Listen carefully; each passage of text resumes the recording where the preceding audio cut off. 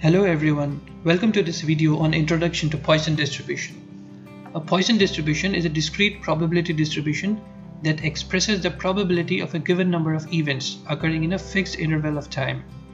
It is the basis for the control limit formulas for the C and U control charts. Please do not worry about the C and U control charts here. I will have a full video on control charts explaining what are the different types of control charts. So for now, just remember that a Poisson distribution is the basis for the control limit formulas for C and U control charts. The Poisson distribution may be useful to model events such as the number of meteors greater than 1 meter diameter that strike Earth in a year, the number of patients arriving in an emergency room between 11 and 12 p.m. So you can easily guess the reach or the scope of the Poisson distribution can range from meteors to patients in an emergency room. Symbolically, Poisson formula is as follows. Lambda raised to the power x multiplied by e raised to the power lambda divided by x factorial. Uppercase x is the random variable, lowercase x indicates x events in an interval, and lambda has to be greater than 0. Also, x can take values of 0, 1, 2, 3, etc.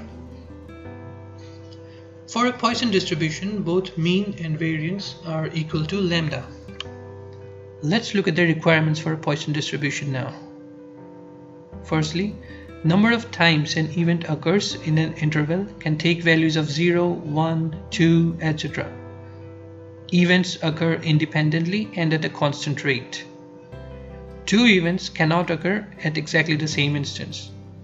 And the probability of an event in a small interval is proportional to the length of the interval.